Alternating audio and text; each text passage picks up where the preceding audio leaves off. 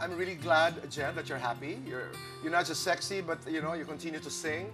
Yeah, and that's the best, di ba? Na kahit nasa ibang bayan ay patuloy pa rin na Oo. hinihingi ng ating At mga saka may kababayan 9 to na 5 job ako. You have a 9 to 5 yeah, I work at a medical spa called Image by MD. So Ah, nila I love Amy? it. Yes, yes, yes. She says hi, by the way. Hi, I mean, hello, enjoy I mean, I, you're watching.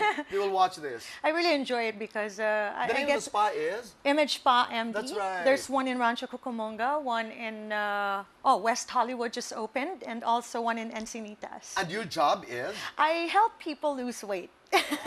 Galing. And how do you do that? I love it. Um, depende sa programs namin. Um, so meron kaming mga programs. Mga iba't ibang programa. Marami na, maraming programa. Halatang you're uh, enjoying your job. I am enjoying it. It's different, so it's fun. Di ba? But I'm really glad that uh, you dropped by. And I wish you the best.